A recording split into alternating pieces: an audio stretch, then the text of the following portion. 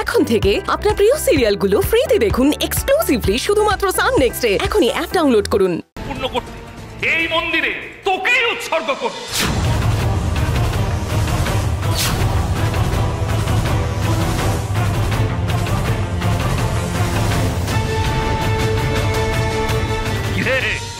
কেমন ভেবেছি বল হ্যাঁ? তোরা চুপ করে দাঁড়িয়ে আছিস? যা! ভালো করে আগুন লাগা, আর এমন করে আগুন লাগাবি, যেন ভেতর থেকে কেউ বাইরে না বেরোতে পারে, আর বাইরে থেকে কেউ ভেতরে না যেতে পারে। যা। এইবার শীতলা দেখবে, চক্রবুহ আক্রমণ কাকে নিরস্ত্রকে আক্রমণ করার থেকেও বেশি পাপ হলো। একজন মানুষ যে পুজোয় বসে আছে, তার ওপর আক্রমণ করা। কিন্তু তুমি পাপ আর পুণ্যের বোধটাই হারিয়ে ফেলেছ। তোমার কাছে আমি আর অন্য কিছু প্রত্যাশা করি না। আমি জানতাম তুমি এই মন্দির প্রতিষ্ঠার পুজোয় বাধা দিতে আসবে। নানা রকম ছলনা ও দুষ্ট বুদ্ধির আশ্রয় নেবে। কিন্তু তুমিও একটা কথা মনে রাখো। আমাকে পুড়িয়ে মারার ক্ষমতা তোমার নেই, আর না আছে তোমার ওই মশালের। আমি যার পুজো করতে এসেছি, আমার জীবন মরণ তার হাতে। সে যদি চায় আমি তাহলে বেঁচে থাকব। আর সে যদি না চায় তাহলে আমি এখানেই মৃত্যুবরণ করব। আমাকে মৃত্যু দেয়ার তুমি কেউ না মরার সময় মুখে খই ফুটছি হ্যাঁ? তোর আগুন লাগা। আমিও দেখি ওর দেবীর কত ক্ষমতা।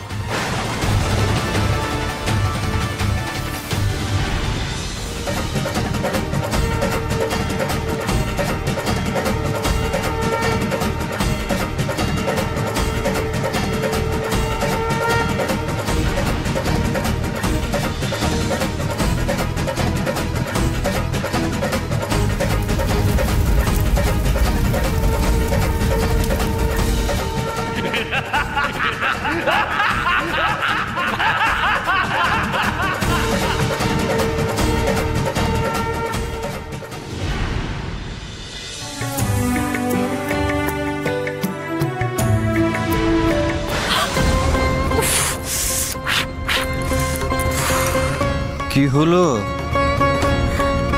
না না সেরকম কিছু না ওই আগুনটা উস্কোতে গিয়ে হাতটা একটু পুড়ে গেল। নিশ্চয়ই অন্য মনস্ক ছিলে। মেয়ের কথা ভাবছিলে তাই না? মা মা মা শিগগির চলো। মন্দিরের দিক থেকে আগুন দেখা যাচ্ছে। কি বলছিস? কি করে দেখি?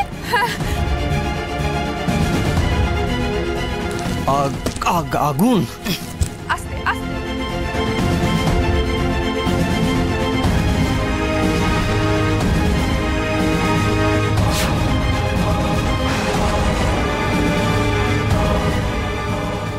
কি সর্বনাশ! এ তো মায়ের থানেই আগুন লেগেছে মনে হচ্ছে। হ্যাঁ মা আমি তো সেই কথাই বলছি ওখানেই আগুন লেগেছে। মেয়েটাও তো ওখানে ওর আবার কোনো বিপদ হলো না তো? এখানে সময় নষ্ট করে লাভ নেই পদ্মা। শিগগিরই চলো। চলো চলো।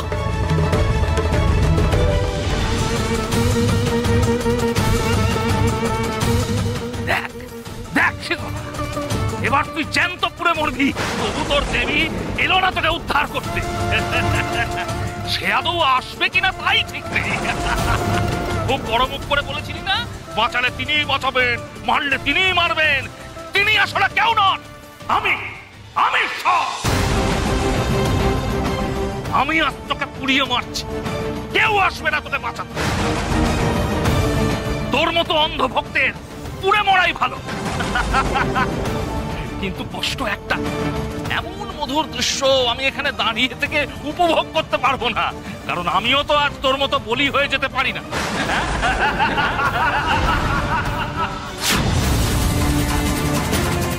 সরে এসো, বড্ড তাপ লাগছে। শীতলা বলি হয়ে যাক ওর মায়ের কাছে। সরে এসো।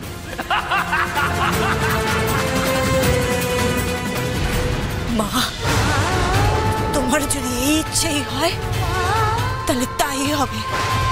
আমি তোমার সামনে আগুনে আত্মা আহুতি দেব।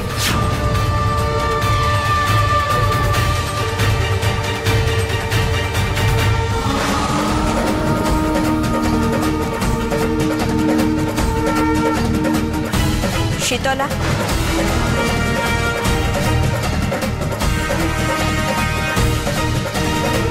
মা? আগুনে পুড়ে শেষ হওয়া যে তোর ভবিতব্য নয় শীতলা। তুমি এসছো মা। আর আমার কোনো দুঃখ নেই আর কোনো আফসোস নেই। এবারে যদি এই আগুনে আমাকে প্রাণ দিতে হয় তাহলে আমি তাই দেব।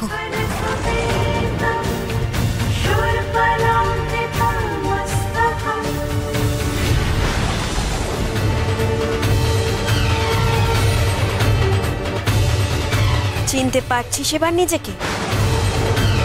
অগ্নির সাধ্য কি? সে মহামায়ার অংশকে দহন করবে? তুই যে আমারই অংশজাত, শীতলা। রোগ বিনাশের ক্ষমতা দিয়ে তোকে আমি সৃষ্টি করেছিলাম। যাতে ধরাকে তুই জরাসুরের প্রকোপ থেকে রক্ষা করতে পারিস। সে কাজে তুই চূড়ান্ত সফল হয়েছিস, শীতলা। শীতলাই রোগ ব্যাধির প্রকোপ থেকে মানুষের দেহ মনকে শীতল করেছে। মা আমি যা করেছি সেটা অজান্তে করেছি। আমি তো নিজের জীবনের উদ্দেশ্য সম্পর্কে কিছুই জানতাম না এমনকি এই ক্ষমতার সম্পর্কেও কিছু জানতাম না। সেও আমার ইচ্ছেতেই হয়েছে শীতলা। শোন সব কিছুর জন্য প্রয়োজন সুনির্দিষ্ট সময়। এবার আর সাধারণ দেবী মানব হিসেবে নয়। তোর দেবীত্বে উন্নীত হবার সময় এসেছে। এবার তোকে আমার সঙ্গে উপবিষ্ট হতে হবে স্বর্গের আসন। কিন্তু মা, আমি যাদেরকে মানব রূপে মা বাবা বলে বরণ করেছি, যাদের দ্বারা আমি প্রতিপালিত হয়েছি, তারা যে আমার এই দেবী রূপকে জানে না মা, তারা তো স্বাভাবিক কারণে আমাকে নিজের মেয়ে বলেই ভাবেন। তাদেরও তো বয়স হচ্ছে, মা। তাদের দায়িত্বও তো আমার। ওই মানুষগুলোকে আমি এইভাবে ফেলে রেখে কি করে চলে যাই, মা? শীতলা, তোর এই পিতা মাতার প্রতি দায়িত্ববোধ আমাকে আরও প্রীত করল কিন্তু এটা ভুলে গেলে চলবে না। তোর পিতা মাতাও আমার এই বৃহত্তর সৃষ্টির একটা অংশ মাত্র। তুই যে ওদের ঘরেই আসবি, সেও পূর্ব নির্ধারিত চিন্তা করিস না। যিনি গোটা সৃষ্টিকে রক্ষা করেন তিনি তোর পিতা মাতারও দায়িত্ব নেবেন। তার উপর তোর বিশ্বাস নেই? আছে মা নিশ্চয়ই আছে।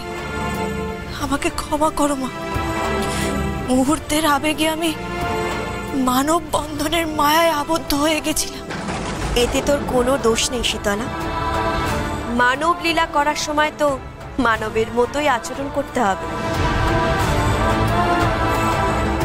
এই জগৎ সংসার মায়াময়। এর ঊর্ধ্বে উঠতে হবে তোকে।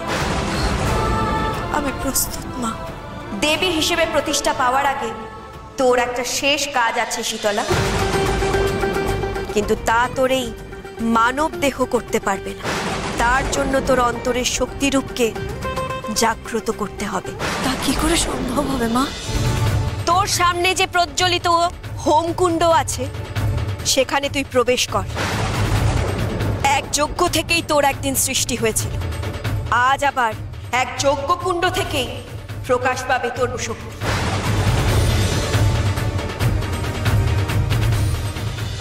আমাদের ছেড়ে দাও। আমাদের বেঁধেছে কেন? মায়ের কাছে যাব ওদের ছেড়ে দিন কুমার।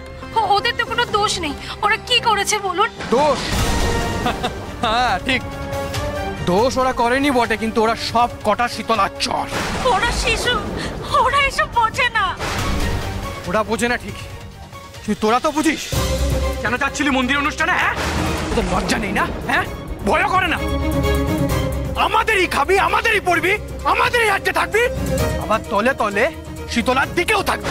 বাহ! চাস তোরা হ্যাঁ? কি চাস বিদ্রোহ! বিদ্রোহ চাস কি ভাবছিস? শীতলা তোদের রানী হবে হ্যাঁ? না কুমার আমরা সাধারণ প্রজা। আমরা সব বিদ্রোহের কথা চিন্তাও করি না। বিশ্বাস করুন শীতলা কখনো রানী হওয়ার কথা বলেও নি। আর কোনোদিনও বলবেও না। শুনে রাখ তোরা যদি কোনো রকম বেচাল দেখেছি না সবার আগে তোদের চোখের সামনে বাচ্চাগুলোকে কাটবো। তারপর তারপর তোদের কাটবো। হ্যাঁ, ভুলেও যদি ওই মন্দিরে যাওয়ার কথা মুখে আনিস না, বুঝতে পারবি।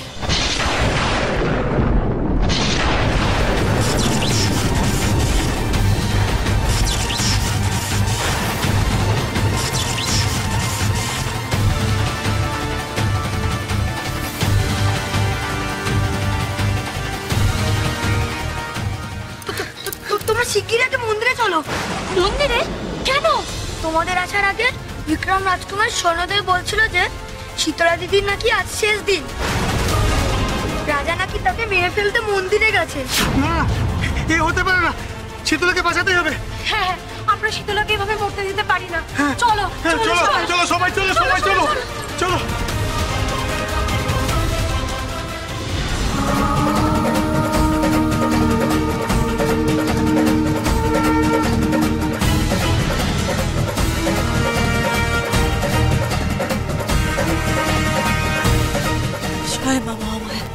জয় মা মহামায়া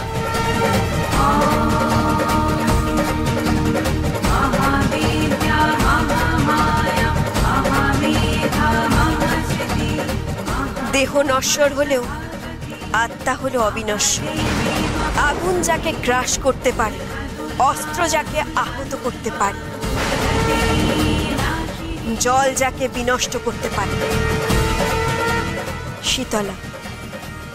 তোর এই আত্মাও অনন্ত। যেহেতু তোর এই দেহের মর্তের কাজ এখনও শেষ হয়নি, তাই তোর অংশ হিসেবে আগামী দিনে জন্ম নেবে এক নতুন নারী। তোর সেই অংশ দ্বারা মর্তবাসী নানাভাবে উপকৃত হবে। সে করবে আত্মের সেবা। হবে আতুরের আশ্রয়। সে হবে এক সাধারণ নারী। বিশেষ কোনো ঐশ্বরিক ক্ষমতা থাকবে না তার। তোর এই জন্মের স্মৃতিও থাকবে না। আর তুই থাকবি আমার কাছে। এবার জাগ্রত হোক তোর অন্দরের সেই শক্তিরূপ।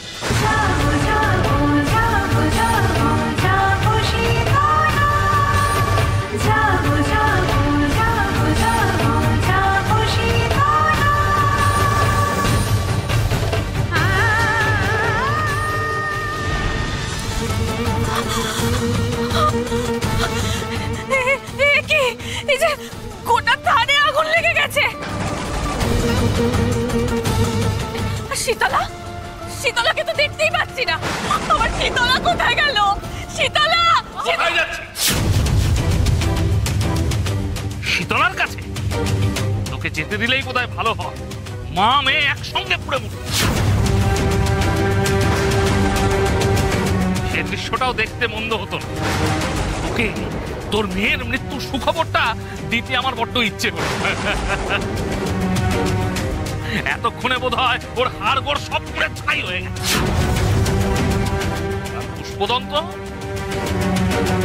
তোমাকে আমি বলেছিলাম না? একদিন আমি এর শেষ দেখে আমি শেষ দেখে সিংহাসনের উত্তরাধিকার তো তুমি তোমার মুখাগ্নি করার কেউ রইল না।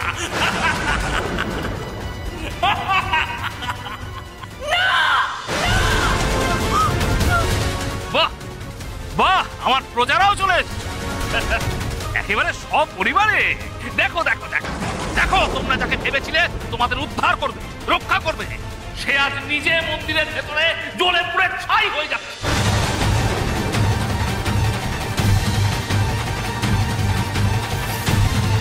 মহারাজ চন্দ্রকান্তের সঙ্গে শত্রুতা করলে তার কি চরম পরিণতি হয়? দেখো। দেখো দেখো।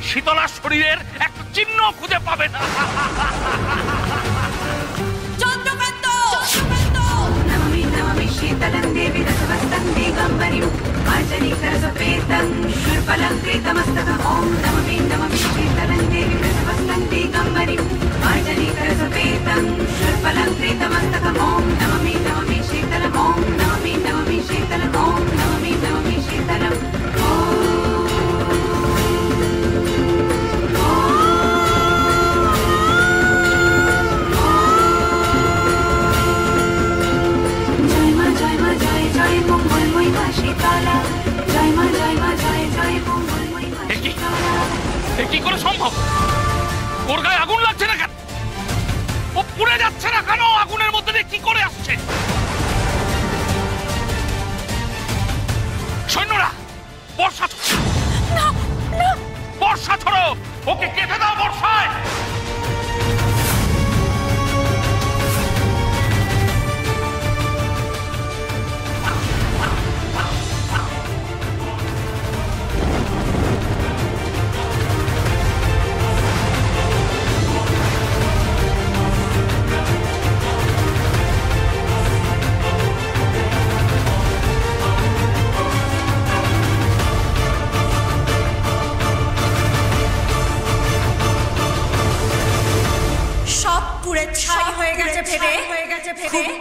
উল্লাস তাই না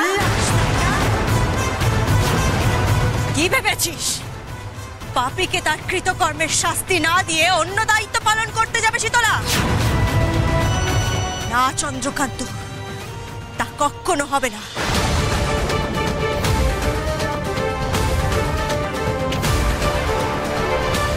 তোর বিনাশ না হলে তুই যে তোর পাপের শাস্তি পাবি না, তোর পাপের খরা শাস্তির জন্য প্রস্তুত হ।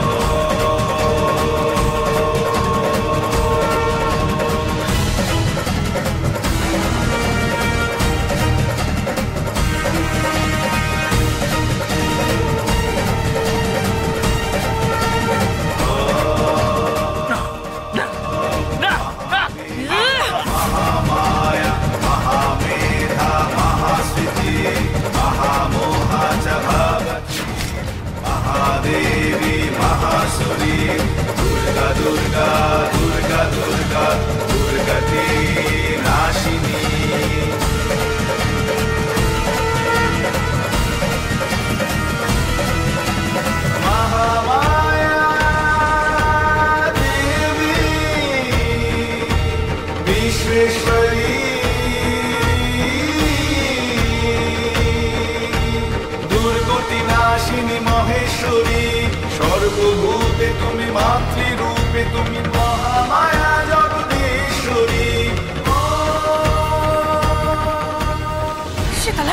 শীতলা এদিকে আয়, আমার কাছে আয়, আমার কাছে আয় ক্ষমা করো মা। এই ধরাধামে যে আমার মানব লীলার সময় শেষ।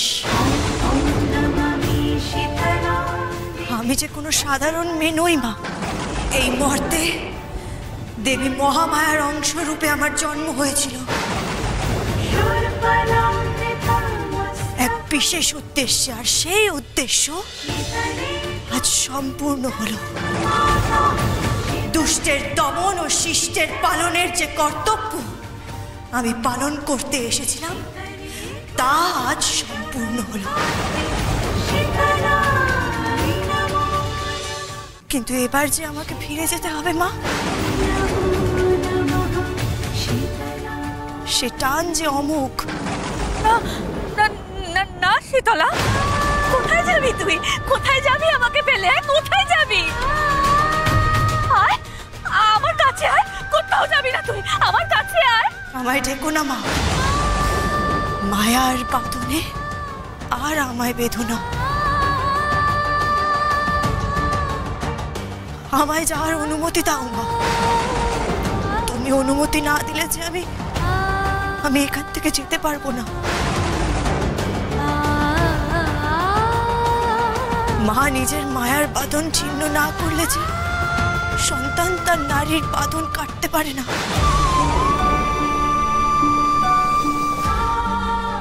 দুই দিকে টানা পোড়েনের মাঝখানে যে আমি পড়ে থাকব মা। বাবা, তুমি মাকে বোঝাও।